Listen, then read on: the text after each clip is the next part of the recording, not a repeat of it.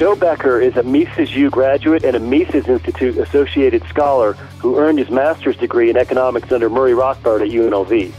Today, Joe heads up the Nevada Policy Research Institute Center for Justice, where he sues government agencies on behalf of plaintiffs with sympathetic libertarian causes.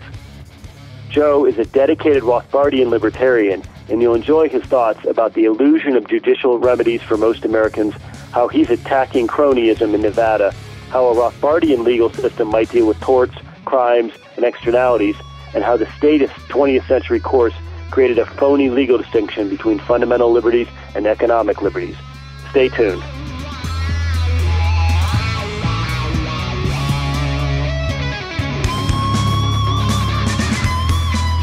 Ladies and gentlemen, welcome once again to Mises Weekends. I'm your host, Jeff Deist, and I'm very pleased to be joined this weekend by not only an old friend of mine, but an old friend of the Mises Institute, Joe Becker, who is calling us from Reno, Nevada. Joe, how are you this weekend?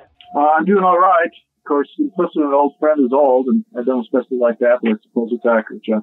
Well, I prefer the term middle age for both of us. But let me ask you this, Joe. You sue federal and state agencies for a living, as we alluded to in the intro. And of course, many of your clients themselves don't have the financial means to hire private lawyers and protect themselves against government agencies that aggress against them. So, unlike, let's say, Mark Cuban, who has billions of dollars and armies of lawyers, and he was able to successfully defend himself against the SEC, I just wonder if for the average American, the notion of redress in court has become an illusory remedy, so to speak. Yeah, well, it's certainly tough. I mean, we, we're we're what's called a public interest legal foundation here uh, that I that I had, and we represent people uh, uh, with no legal fees to them. But of course, that means we have to find uh, donors who are you know willing to contribute to help stop the expansion of government. And we we sue people, uh, we sue government, I should say, when government exceeds its constitutional limits, which of course is is very frequent. I'm reminded of a case I did uh, in Arizona a few years back where we had the first fast food owner in the town of Page, Arizona, just on the southern tip of Lake Powell. And uh, he wound up, he hired like 95% Navajo from the reservation around him. And at some point, he got a couple of bad, bad hires and they started sexually harassing um, the customers as well as their fellow employees in Navajo. So in order, in order not to run afoul of the EEOC's uh, hostile workplace regulations, he decided to implement a language program where when they're on the clock, uh, they could speak only English. So he and his manager could monitor what was being said to try and, you know, protect against this hostile workplace. So of course, instead he got sued for uh, national origin discrimination against against Navajos. Uh, he, he wound up trying to do that on his own and he racked up about $150,000 in legal fees before he finally decided to let the public interest uh, firm represent him. And I mean that that's kind of what happens. In fact, in that in that vein, what what the government does in that case is there's no the law was on its side, but the problem is is they try and bully the EEOC tried to bully people into settling because they like the idea that language is a you know, protected class or a discriminatory class. And so they would, you know, basically sue people, bully them into settling, and then they would run press releases that said, see, this is what happens when you have a language, uh, you know, when you have a language policy in your workplace. So, yeah, it can be, it can be daunting and, and almost impossible for some people to stand up for their constitutional rights. That's why, you know, organizations like, like ours, uh, exist. Now, before you came to NPRI and before you became a lawyer, I know that you studied under Murray Rothbard at UNLV, and you were even kind enough to introduce me to him at that time. Tell us a little bit about your master's thesis at UNLV and having not only Murray, but also Hans Hermann Hoppe on your thesis committee. Yeah, that was a conscious decision. I mean, this goes back to the uh, 88 Libertarian for President campaign of Ron Paul. That's kind of how I first got introduced to the Austrian school and Ron sort of directed me towards the Mises Institute and the Mises University, which back then, of course, was being um, operated out at Stanford University. And I went there and I met Murray and Hans and just became, I studied a lot of undergraduate economics. I think I had probably 24 hours of undergraduate econ at the time, but no mention, of course, of the Austrian school or curriculums those days. Uh, I, understand it's slightly better now, thanks to, you know, your group. But, um, yeah, so I got I got directed towards them, and I made a conscious decision that I would go to UNLV where they were, and that's where I would do my graduate work in economics. And it was turned out to be you know, probably one of the best decisions in my life.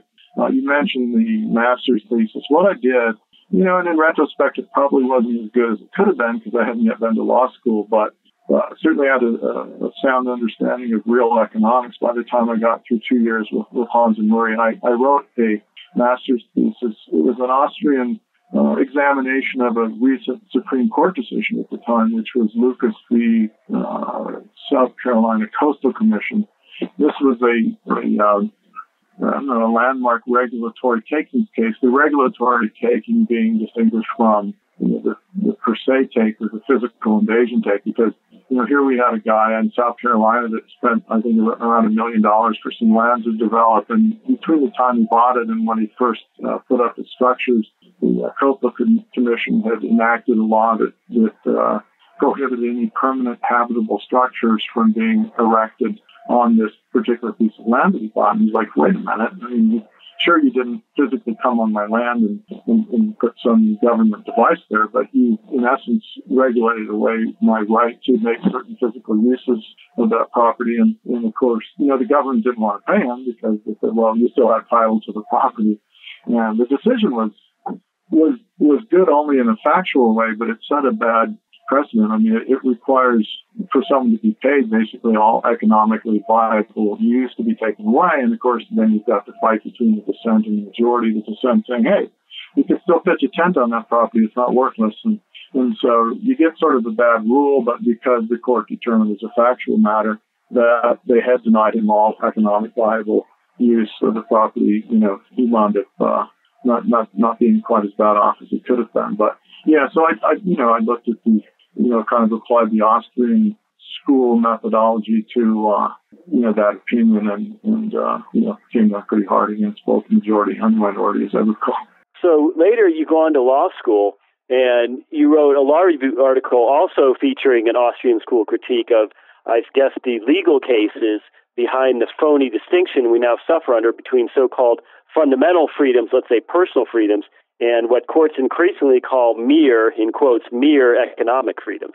Yeah, that was, uh, I, I, I, think that was a much better piece in, in retrospect. I, you know, I can still hear Murray Rothbard was talking about, you know, what good is freedom of the press if you don't have the right to own paper and ink? And of course, you know, you know we're, we're a number of years later, so maybe we would say, uh, right to own a laptop and, and, uh, an ISP you know, service with an ISP. But no, I mean, the, the distinction between so-called fundamental liberties, which get a completely different uh, level of protection uh, the, uh, under constitutional review than economic liberties, uh, it, it's senseless to try and say, you know, that economic liberties are entitled to certain protections and, and personal liberties are, are entitled to more. And that, yeah, that was, uh, that was, I, I, I did an end because it wasn't really an economic uh, journal. A law journal. I did a, a, a, good amount of explaining the Austrian school methodology and then applied that to, you know, sort of the, uh, the New Deal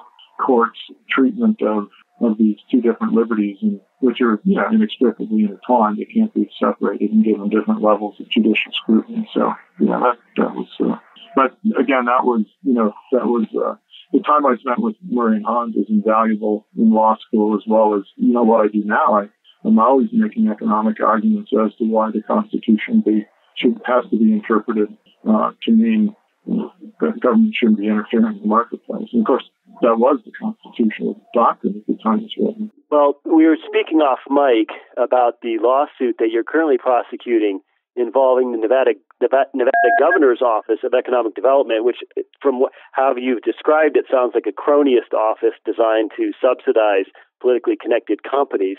Can you tell us a little bit about this suit? Yeah, I, I can certainly do that. It, it's kind of this race to the bottom that uh, states seem to be engaged in, and uh, you know, many of the western states, including Nevada, perhaps all of the states, uh, to some extent or another, have something in their constitutions called the gift clause, which prohibits the state and sometimes political subdivisions from giving gifts to um, to private corporations unless they're charitable or educational. So sometimes there are exceptions for those. So, you know, here we have a situation where um, the state of Nevada just decided to give you know millions of dollars to various companies. Uh, we represent an, an alternative energy entrepreneur who's you know doing everything he can to get his business off the ground without subsidies. Meanwhile, a company named Solar City uh, is being subsidized to the tune of 1.2 million. And they're clearly a competitive disadvantage. So they're taking his tax dollars, giving them to, you know, a private corporation to, comp- you know, to compete against him. So both, you know, his status as a taxpayer as well as his as a disadvantaged competitor gives us standing to, to sue the government to invoke this, you know, this to, to challenge, you know, what the, what the Nevada is doing. And like I say, it's not unique to Nevada, but the, the organization I run right now is is focused on what's going on in Nevada. So that's that's what we're doing. Well, it's interesting to me that your client even has standing to sue the state of Nevada, given the doctrine of sovereign immunity that in effect protects the political class and protects government against lawsuits by private citizens. I know that in your line of work, you have come up against the doctrine of sovereign immunity quite frequently. I was hoping you could discuss and elaborate on what the doctrine means for us. Well, it, it's really an abomination, uh, and um, you know, it, it, it, it's a holdover from monarchical times when the notion was that the king could do no wrong. And so, I mean, in a nutshell, what it means is that you you can only sue the government when the government gives you permission to do so. Now, it's a little bit easier uh, in the case of uh, the, the, Go, the GOED case, the Governor's Office of Economic Development, because they were operating under directly under a um, you know challenging their unconstitutional action. The thing we're really asking for, not money damages, uh, we're asking for the government to uh, stop violating the Constitution. We're looking for a declaratory relief, saying a declaration from the court saying, hey, this is unconstitutional, and then injunctive relief, where what we're doing is we're asking for the court to enjoin the other branch, another branch of government, the executive branch, from carrying out this uh, this violation of the Constitution. Where you run into sovereign immunity being a bigger problem is when you're looking for monetary relief from the government. That, that's especially tough. I, I'm, I'm doing another case here in Nevada, which is suddenly split into three courts. And uh, in that case, we're definitely looking for financial relief. I, I represent a church camp uh, down in southern Nevada that spent half a million dollars for a 40 acre uh, camp where they could operate the church camp and uh, the name of this case is Ministerio Roca Solida versus the U.S. And the reason against it's against the U.S. is because shortly after they bought the camp, uh, there was this beautiful uh, spring-fed stream that ran through their property since at least at least the 1870s and perhaps earlier. Uh, shortly after they purchased the land, U.S. Fish and Wildlife dammed up the water where it entered their property and they routed it completely around and outside their property, but to the high side of the property, and then they reconnected it at the other end of the property where it used to flow. So in essence, they stole they stole the spring, which was the baptismal water for the church camp, as well as recreational and, and, and spiritual, it provided spiritual benefits. But they did it in such a way, in fact, that the first time that it rained, after uh, they they uh, diverted the, the, the, spring flow, it, it, flooded their properties. It tried to go back to its historic path. Did about $90,000 worth of damage. So, you know, here we have, of course, a free exercise violation because they took away their, their, their ability to practice their, their, their baptism by immersion. Uh, we have the tort of negligence because they negligently rerouted the water. Of course, it's a taking in addition to that because you know, water rights in Nevada are such that, you know, vested water rights have been appropriated by the agricultural use of this water, you know, years and years and years ago, going all the way back to the 1800s, taxes paid to, to show that. So when you go after the government for the tort damages of roughly $90,000 and you ask for a taking, you know, because the government t- took the money, uh, or took the, took the, the value of the, the property as well as the water value itself, now you run into a problem because getting money damages against the government, you know, that that's what sovereign immunity comes in. It's a bar. You can only do that when they say that you can. It took until the mid 40s, post World War II, for sovereign immunity to be, or for neg- for you to be able to sue the government for negligence or in tort and recover money. In fact, it was uh, it was a result of a, a plane crash into the Empire State Building in, in 1945 that actually finally prompted Congress to pass the uh, Federal Tort Claim Act to allow that. And as far as takings, um, you know, when you're trying to, even though there's a constitutional provision that says uh, government, you know, can't take for anything but public use, and when they do, they have to, you know, they have to uh, pay pay for it. Uh, you know, it took government a while to come up with the Tucker Act, the Big Tucker Act, and the Little Tucker Act, which allows you to sue government when they actually take your property. So there, even though there's a constitutional prohibition in order to recover money, you have to sue under the under the Tucker Act, and of course, this requires certain courts and certain limits, and it's you know, it's more technical than interesting. But what is interesting is that you know this whole doctrine of sovereign immunity, which really has no place in American jurisprudence, you know, is very much alive and well. And it's, it's a problem. Yeah, it, it makes things it makes things stop. Well, you mentioned torts and externalities. Let's talk a bit more about, for instance, the tort system from a Rothbardian perspective. Many people on the right, for example, suggest that medical malpractice is out of control in the United States, and the answer to that is to cap damages, to set a specific cap on monetary damages for, let's say, wrongful death or loss of a limb. And I'd like to get your thoughts on tort reform. Well, you know, of course, every state has a little different approach. It, it, it kind of reminds me of, you know, the necessity notion that there really are, are only two choices. Uh, you've got capitalism or socialism because if you choose anything in between, you know, the intervention that you initially choose to move away from capitalism, but, you know, true capitalism, not what probably people think of capitalism now, which is, you know, corporatism. Um, but when you deviate from capitalism, of course, that intervention results in negative effects. Those negative effects, then people run back to government to try and try and correct that negative effect with yet another circumvention, which of course only begets the next. And so, you know, you, you march happily down the, or maybe not so happily down the, the road to socialism. You know, here's a case where, you know, like if we talk about medical malpractice, for example, um, a little bit away from the externality. But when we talk about that, you know, if private actors, you could go to your doctor and say, hey, you know, I'd like to have you, you know, perform some sort of surgery or something on me, and I'm willing to, uh, you know, agree not to sue you for punitive damages or something. But if something goes wrong and it's your fault, you know, obviously I want to be able to do that. You can negotiate some sort of a, a contract to, to limit liability between you know, the contracting parties where there's where there's privity, and that that would be fine. But you know, to the extent government bans that, uh, now you wind up with government in essence stepping in and deciding for everyone what the right amount of damage liability should be capped at. And you know, I, I think that's a problem. Um, well, I know it's a problem uh, because you know, in essence, what you do then, maybe not in the context of medical malpractice exactly, but you know, if, for example, you're going to be involved in some sort of a uh,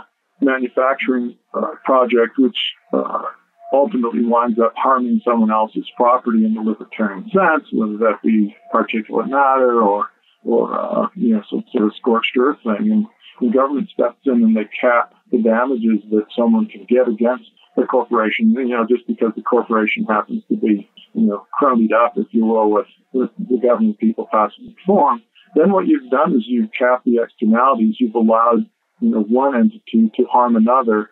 Uh, and the whole goal, uh, you know, should be, you know, setting up property rights is to internalize the, the, the costs upon the person, the manufacturer in this case. And, and so, yeah, there, I mean, there's some real problems with, I mean, it's, it's one of those, I suppose, quick legislative solutions that, you know, ultimately winds up resulting in yet another, you know, yet another harm that needs to be, be remedied because then people you know, that because then the costs aren't internalized and, and someone, uh, you know, can damage another without paying the full cost of it. And you wind up with a distortion in the market of what resources should be used to what end because it's simply because someone doesn't have to have to pay the cost of, their action. You know, that's, I guess, sort of a general description or general answer to your question. But yeah, uh, legislatively, limiting damages. Uh, and some, of course, have applied to, to, to corporations generally. That uh, when government allows liability to be limited, it's uh,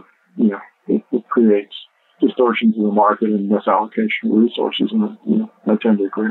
Joe, I will leave you with one last question. I know that you know personally uh, Judge Andrew Napolitano, also a friend and a board member at the Mises Institute. He recently spoke at NPRI's annual dinner. You know, he gives a talk at the Mises Institute that really revolves around the famous Lochner versus New York case, which happened in 1905. Oliver Wendell Holmes had the famous dissent in that case. Can you just speak briefly about uh, sort of what that case and its dissent has meant for for really for economic activity in the U.S.